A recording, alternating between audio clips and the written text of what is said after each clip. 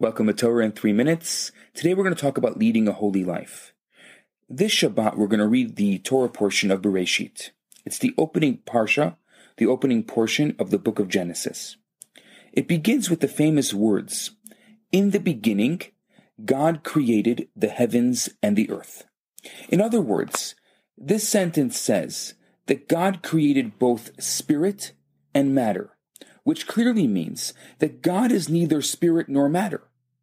This also means that the assumption most people make that they have a choice of leading either a materialistic life or a spiritual life is false. There is a third choice, and that's leading a godly life, a holy life, which is a completely different thing. Godliness or holiness is not the same as spirituality Spirituality can lead to holiness, but in and of itself, it's not holiness. Unless spirituality is a path to holiness, it can be as egocentric as materialism. There are spiritual people who are quite arrogant. They see themselves as superior to everyone who is not as spiritual as they are. Holiness, on the other hand, demands humility. Another distinction between spirituality and holiness is action. Spirituality can take the shape of being completely meditative, apart from the material world. Holiness means that you take upon yourself the task of living in the material world in order to transform it. There's actually a story that illustrates this point. It's told about two Hasidim, a father and a son, who were absorbed in studying Torah. Suddenly, a baby the son's child, who was sleeping in the next room, fell out of his crib and he started to cry. The son was concentrating so hard that he didn't hear it. The father heard and went to tend to the baby.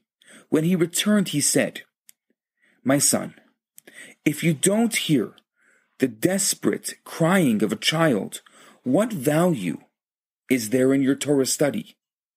Torah study is meant to refine you, to teach you how to help another person, to be able to hear the cry of someone in need. So, today I want you to ask yourself, what kind of life are you leading? Is it a materialistic life or a spiritual life? Or is it a godly life? And your exercise for the day is to describe how you need to change your life to make it godly. To identify one godly act that you can do today and to actually do it. And perhaps to hear the cry of one in need. I'm Rabbi Yisroel Bernath. That's Torah in three minutes. Have a fantastic day.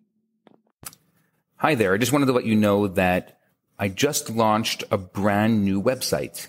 It's theloverabbi.com, T H E L O V E R A B B I dot com, theloverabbi.com, and it has um, lots of very interesting uh, things there. Especially, you can purchase um, a lot of the different classes and uh, lectures that I have given um, over the past few years, and you can also take a look at the current classes and lectures that I'm giving and the current events that I am doing on relationships. So I encourage you to go check it out. It's theloverabbi.com. Thanks so much.